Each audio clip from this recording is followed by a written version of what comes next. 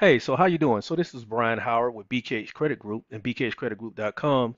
And one question that I get often a lot is how do I properly list my business with the 411 in order to meet the credit issuer's guidelines to help establish my business credit?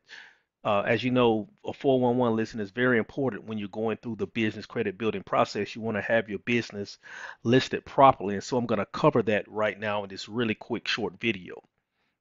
So the 411 listing is part of legitimacy. It's about establishing and showing the lenders that you are a legitimate business.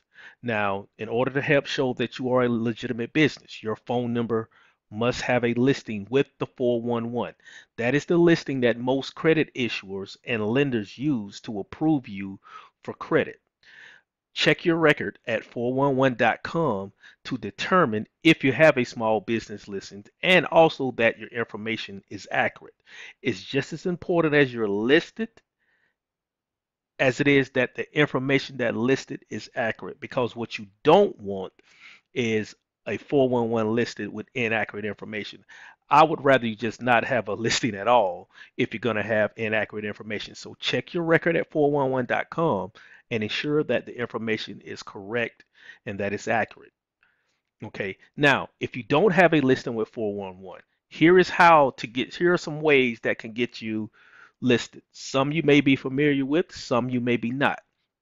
Um, Obviously, one way you can get your business listed is going through 411.com.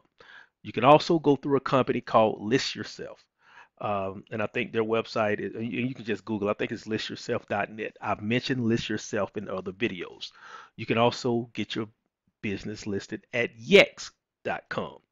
Um, you can Google Yext to find out more information about Yext. Yext is a, is a directory where you can get your 411 listing.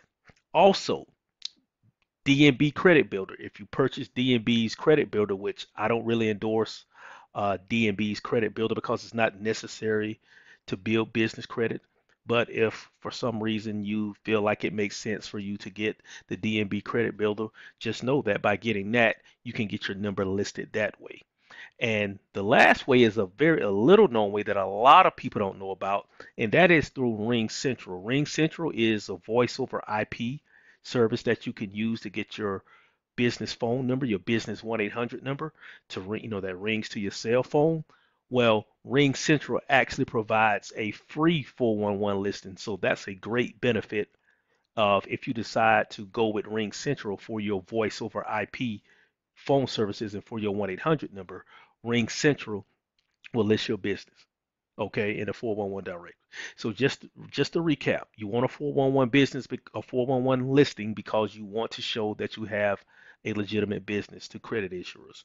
Check your listing at 411.com to see if you have one.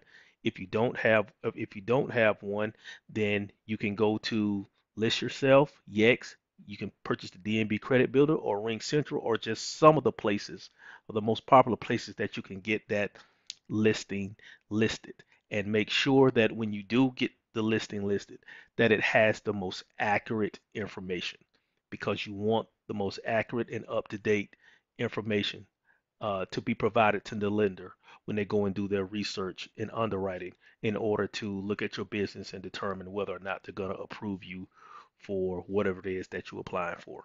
All right. This is Brian Howard signing out for BKH Credit Group.